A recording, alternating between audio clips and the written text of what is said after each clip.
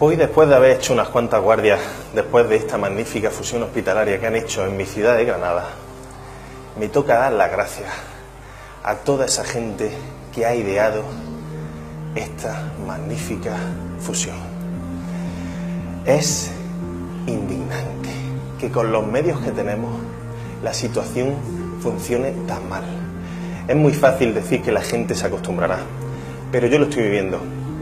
Como médico de urgencia, ahora el Hospital Complejo La Caleta. Estoy hasta las narices, estoy cansado de tanto chupatintero que existe en mi profesión y de tanta gente que se calla y guarda silencio porque entiendo que su culo depende de eso. Pero yo estoy cansado. Después de haber vivido estas últimas guardias y la situación no inhumana, como dicen muchos pacientes, porque inhumano es lo que está pasando en muchos otros países. Es indigno que con los medios que tenemos y que con lo que teníamos perdamos una atención integral.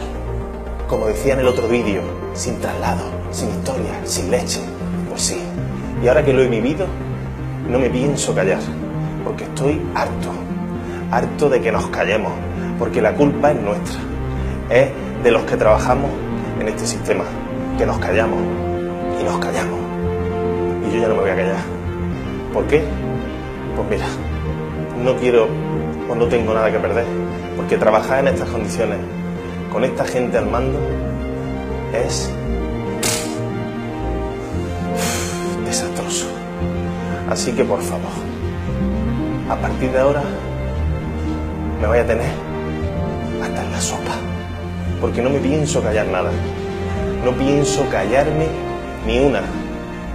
No por mi bien, ni por el bien de mis compañeros, sino por el bien del paciente. Porque lo que estáis haciendo con esta ciudad, y no sé lo que estará pasando en el resto de España, es indigno. Hoy no lanzo ningún yeah. Hoy me cago en la madre que os parió.